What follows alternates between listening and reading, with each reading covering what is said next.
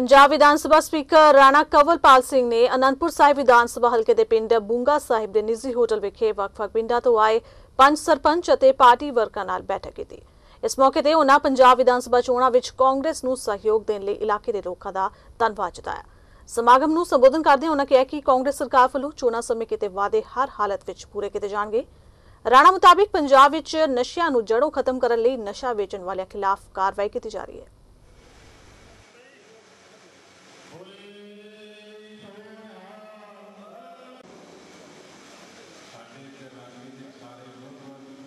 Election ਤੋਂ ਬਾਅਦ ਇਕੱਲੇ ਇਕੱਲੇ ਤਾਂ ਮਿਲਦੇ ਰਹੇ।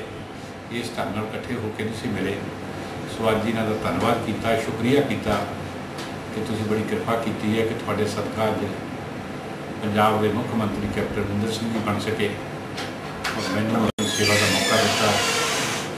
ਅਸੀਂ ਜੋ ਜੋ ਕੁਝ ਪਿਛਲੇ ਸਮੇਂ ਵਿੱਚ ਕਿਹਾ, ਉਹਨਾਂ ਸਾਰੀਆਂ ਚੀਜ਼ਾਂ ਤੇ ਕਾਇਮ ਹੈ। ਉਹਨਾਂ ਆਪਣੇ ਵਚਨਾਂ ਦੀ ਪੂਰੀ ਰਾਖੀ ਕਰਕੇ ਲੋਕਾਂ ਦੀ ਖਿਦਮਤ ਕਰਾਂਗੇ। ਔਰ ਪੰਜਾਬ ਨੂੰ ਇਸ ਜ਼ਿਲ੍ਹੇ ਚੋਂ ਕੱਢਾਂਗੇ, ਜਿਸ ਜ਼ਿਲ੍ਹੇ ਦੇ ਵਿੱਚ ਪਿਛਲੇ ਲੰਮੇ ਸਮੇਂ ਤੋਂ ਫਸੇ